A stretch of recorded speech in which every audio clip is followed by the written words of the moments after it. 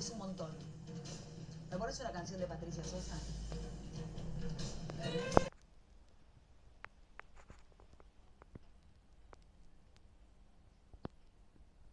Contra locos.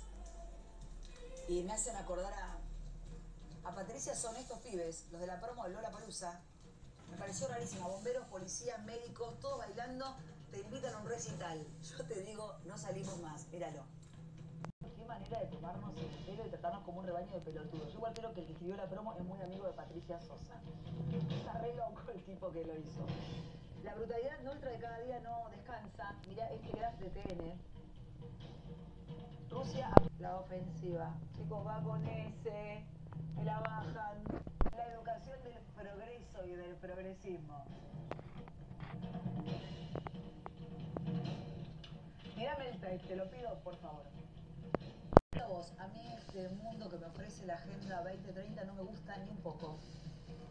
No quiero a los Bill Gates, no quiero a los Soros, no quiero a los Epstein, no los quiero ni un poco. Estos tipos van a fomentar la pedofilia en pocos años. Por eso te digo, cuidado con tus hijos. ¿Por qué Bill Gates sabe siempre que viene una pandemia cuatro o cinco años antes? Pregunto si Bill Gates tiene los poderes de Patricia Sosa para adelantarlo. Sergio Campolongo.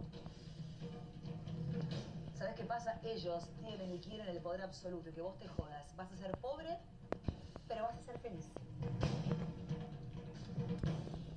Te someten, te someten, te someten, te someten, te tienen sumiso ahí abajo.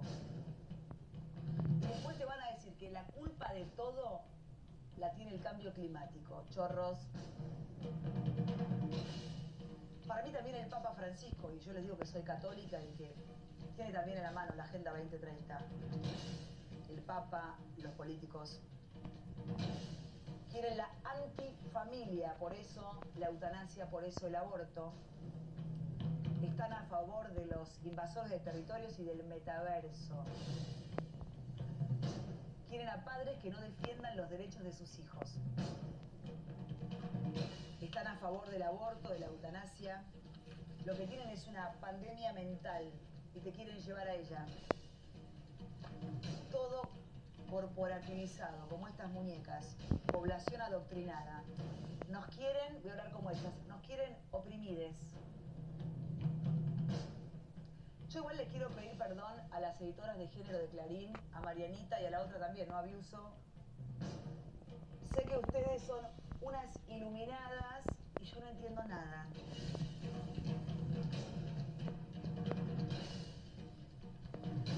No seas oveja, no te dejes domesticar. Porque ese es el plan, estupidizarte. Ellos ricos, vos pobre, para poder manejar el mundo como se les cante el orto. Vamos a pasar a la mesa con el violento de Baradel. Hoy, Vicky Villarruel.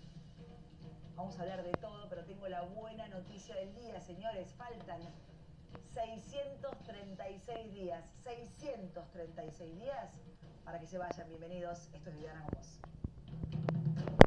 Y apareció Baradel en la pescadería y la... me muero. Eh, Yo que no funciona Baradel. Ahora van a tener que correr de verdad porque la gente no se lo fuma más. No, claro. Con, con- Se le animan 60 todos. Con 65, 70% de la opinión de la primera dama, porque lo tratamos con humor o lo tenemos que tratar muy trágicamente.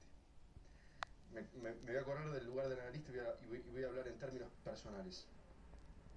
Yo durante el primer año de la pandemia, vos lo sabes bien, yo estuve seis meses sin ver a mis hijos. Murieron mis dos abuelas, no las pude ver. La vacuna que, que- que se chorearon, los que representan al gobierno, si hubiera llegado 15 días antes a mi viejo, muy probablemente no hubiera muerto. Entonces yo lo veo a Fabiola, que se me cagó de risa en la cara, y, y me pregunto, y me pregunto para su equipo de comunicación, ¿qué carajo están tratando de comunicar? ¿Qué carajo están tratando de comunicar? ¿Qué están tratando de hacer con la imagen de ella? ¿Y por qué las piensan tan pelotudos? A todos tan pelotudos. Tan como si lo que vivimos el año pasado o el anteaño, vivir se pudiera borrar de un plumazo. Hay atrás un grupo de pelotudos que dice nosotros somos el equipo de comunicación de la primera dama, vamos a dar una vuelta de rosca a la imagen de ella y vamos a mostrarla sensible, vamos a aprovechar el embarazo, esto es lo que hay atrás. Yo estoy formado en comunicación, sé perfectamente el tipo de pelotudo que hay del otro lado. Y yo les pido por favor que, le aflojen un poquito al cinismo. Porque no está funcionando de esta manera y además yo no le quiero pagar sueldo, yo quiero pagarle el sueldo a un tipo que le diga, mira Lo más respetuoso para el público argentino es que toda la gestión de tu marido vos un Mira, acaba de, baja. acaba de decir público, no pueblo. Es actriz. No, claro, yo no están porreando tanto que están actuando. Totalmente. Nos están actuando, es público. Es- no es pueblo, es público. No. Creen que somos público.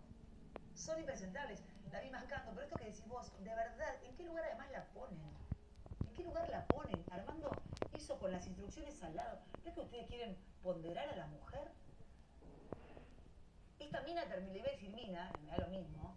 A esta mina le tuvimos que comprar nosotros el respirador, lo que coño Sí. donó cuando se cagó con nosotros con el Olivos Gay. Nosotros, o sea, pagó con una cosa que le compramos nosotros. Como ese bebecit, como el rope que le damos de comer, como las picadas que se morfan. Y lo que dice Jorge es cierto, son cínicos. Perdimos gente. El otro día vimos el viernes al hijo de puta que profanó nuestras piedras y no se puede decir el nombre, estaba con Vallejos. Pero ¿saben qué le importa a esta gente? Cristina.